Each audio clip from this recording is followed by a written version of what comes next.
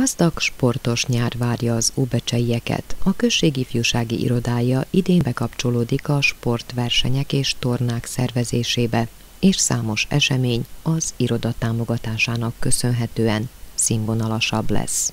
A pénteki sajtótájékoztatón megtudtuk, hogy a már bejelentett Szlobodán Malesev Bobica utcai kosárlabda emléktorna mellett az ifjúsági iroda támogatja a szervezésben a Becsejszka Deszetka futóversenyt, azaz az atlétikai klubot.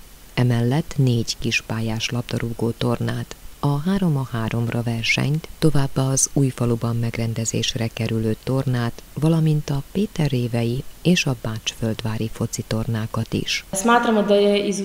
Úgy véljük, hogy rendkívül fontos, hogy népszerűsítsük a sportot és az egészséges életmód stílusokat a fiatalok körében, hogy motiváljuk őket arra, hogy sporttal foglalkozzanak, valamint, hogy humánusak legyenek. Legfőképpen ezért támogatjuk mindezeket a rendezvényeket. Ezt az együttműködést a fiatalok kezdeményezték, és aminek mi külön nagyon örülünk az az, hogy a fiatal rekreálók és sportolók felismerték az ifjúsági iroda támogatási lehetőségeit. Úgyhogy mi állunk elébe, itt vagyunk és támogatni fogjuk a különféle rendezvényeket a fiatalok számára Óbecsekösségben. A Becsei Atlétikai Klub megszervezi a híres Becseiszka Deszetka elnevezésű futóversenyt az ifjúsági iroda támogatásával. Mint ahogyan azt Bolyán Jocic elmondta, arra számítanak, hogy ennek az együttműködésnek köszönhetően sokkal több résztvevő lesz, és ezáltal kialakul a teljes mezőny is. Idén úgy, mint eddig is, lesznek gyermek és szenior futóversenyek, de a rekreálók is tartozálnak. Imamo večje trke na 200, 400 800 méterre. Lesznek gyermekfutóversenyek 200, 400 és 800 méteren. Jelentkezni a verseny napján lehet. Minden versenyző résztvevő érmet kap, a legjobbak pedig serleget. Úbecse központja szép helyszín lesz. Úgy gondolom, hogy ez elsősorban a gyerekeknek lesz majd nagyon érdekes, mivel nemrég indítottuk el a futóiskolát. Még az is lehet, hogy lesz olyan új tagunk, aki csatlakozik az atlétikai klubhoz. A felnőttek futóversenye 5 és 10 kilométeres szakaszon lesz megszervezve. A pálya már ismert, a központból indulunk Ubecse legszebb részéből, majd a stadion mellett a Tiszaparton fordulunk vissza. Igazán fenomenális, rendezett futópályánk van, és úgy gondolom, hogy minden látogató számára ez egy nagyon szép élmény lesz.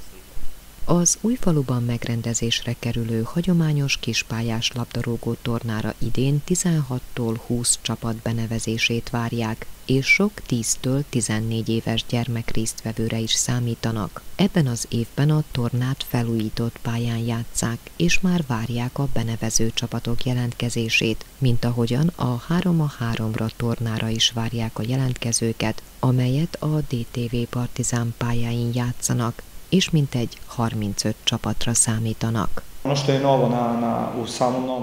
Ami újdonságnak számít újfaluban a pályánkon, az az, hogy született egy újabb pálya három-négy hónappal ezelőtt, közvetlenül a torna előtt pedig védőhálóval és kerítéssel lesz ellátva, ami hozzájárul a minőségesebb futballjátékhoz is. Nem kell majd állandóan a labda után futkosni, ha az a pályán kívülre kerül montáspadokat is elhelyezünk a tartalékjátékosoknak. Úgyhogy valójában ezek a pályák évről évre fejlődnek, és hamarosan egy mini sportkomplexummá válnak községünkben. Ezúton szeretnék meghívni mindenkit, aki még nem tud a tornáról, hogy jelentkezzen, még van erre idő.